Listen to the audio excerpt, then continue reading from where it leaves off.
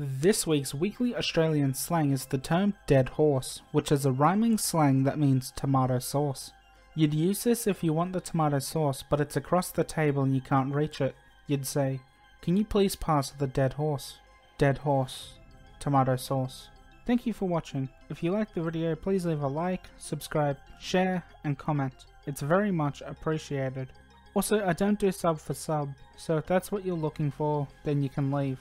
I upload Monday through Friday at 2.30pm Australian Eastern Standard Time, which in American time I believe is 9.30pm US Pacific and 11.30pm US Central.